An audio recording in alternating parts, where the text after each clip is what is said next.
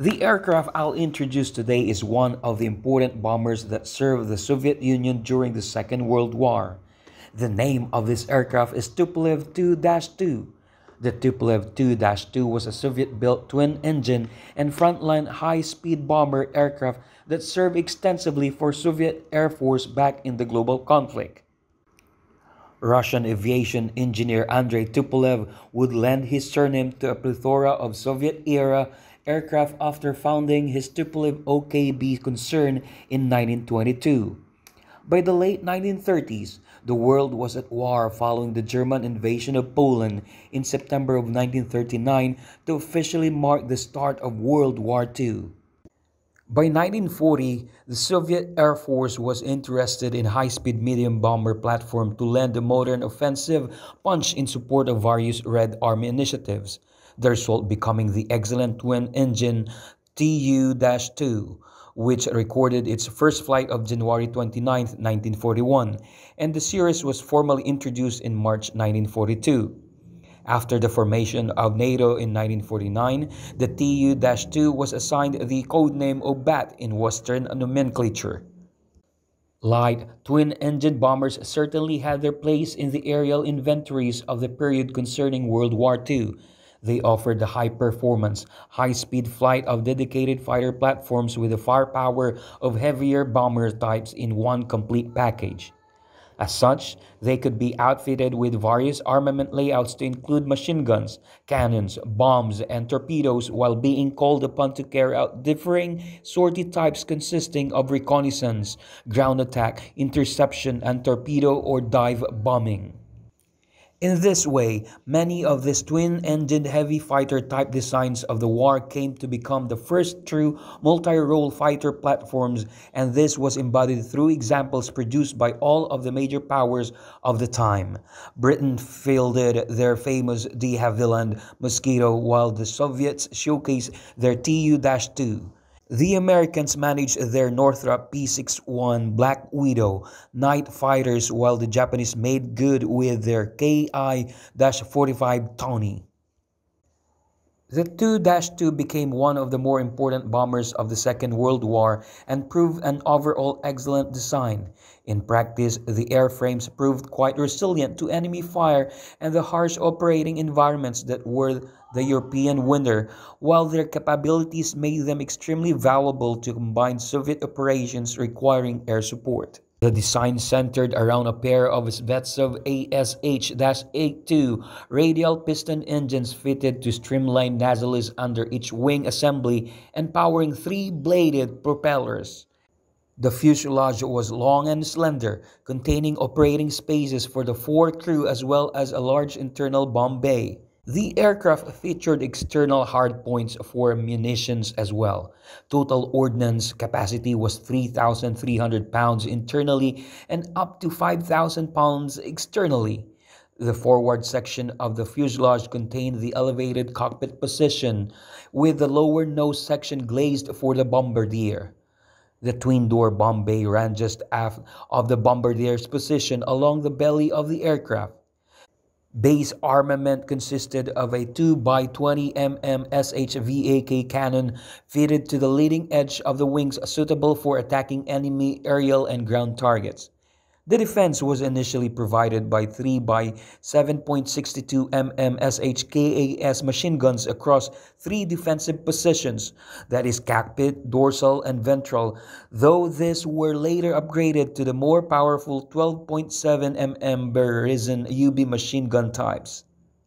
The undercarriage was fully retractable and of the tail dragger configuration to include two single-wheeled main legs and a single-wheeled tail leg.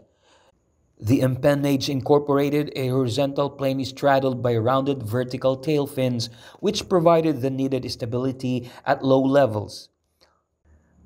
Overall performance specifications included a top speed of 325 miles per hour with a range out to 1,250 miles and a service ceiling up to 29,500 feet. Rate of climb was 1,600 feet per minute. All told, the aircraft was regarded as a fast airframe for her class type and much appreciated by Soviet airmen. When utilized as a true fighter thoroughbred, the Tu-2 certainly held her own. Her value was such that she was utilized in all major actions towards the end of the war that would see the Soviets victors over their German invaders. Production of Tu-2s spanned from September 1941 to 1951. In June of 1942, the Germans invaded the Soviet Union to open up the East Front, and this pressed all manner of Soviet industry to previously unseen levels, requiring entire production lines to be set up in Central Russia and many weapons produced in short order. It is noteworthy to mention the somewhat unfriendliness of Soviet production designations when compared to the basic A-B-C or 1-2-3 conventions followed in the West. As such, a D model follows an S model into service while AT simply signifies a torpedo carrying capability. The Tu-2 spawned into many recognized variants beginning with the ANT-58 three-seat prototype of 1941. This was followed by the ANT-59 four-seat prototype and the ANT-67 five-seater of 1946 outfitted with, interestingly, diesel engines. Tu-2 was the definitive series marker of 1942, outfitted with two by Shvetsov ASH-82 air-cooled engines of 1,450 horsepower. The Tu-2S was an updated design of 1943 with two by Shvetsov ASH 82FN radial piston engines of 1,850 horsepower. A long-range variant, the Tu-2D was unveiled in October of 1944 with larger wings and five crew. The Tu-2DB was a high-altitude reconnaissance bomber variant, while the Tu-2F was a photographic reconnaissance platform filled with camera equipment. The Tu-2G proved a fast cargo hauler with limited capacity and the Tu-2R was a dedicated fast reconnaissance mount. The Tu-2K served as a developmental series for early powered ejection seat testing while the Tu-2N was used to evaluate the British Rolls-Royce Nene turbojet engine. Another test bed, the Tu-2 Paravan, served to trail a cable cutting facility to be used against the third ground-based enemy obstacle balloons. The Tu-2M was outfitted with two by Shvetsov ASH-83 radial piston engines of 1,900 horsepower. The Tu-2RSHR was used to trial a 57mm internal cannon arrangement though this would never see serial production. The Tu-2SH was a prototype ground attack platform outfitted with various weaponry that came to naught. The Tu-2 over 104 became an all-weather interceptor mount and the Tu-2T was born as a dedicated torpedo bomber platform. During the war, the Tupolev Tu-2 proved to be of exceptional service and was considered as their second-best bomber right after the Pe-2. Crews flying the Tupolev Tu-2 were happy with the aircraft's performance as it could survive through heavy damage as well as being a fast attack platform. The very first mission for the Tupolev Tu-2 was over the Velikiye Luki. Between November and December of 1942, the Tupolev Tu-2 had flown for 46 sorties. By 1943, the aircraft was already sued for attacking rail junctions as well as airfields of enemy forces and only three of these aircraft were ever lost in action with only seven getting damaged. It was created to directly challenge the Junkers-88 bombers.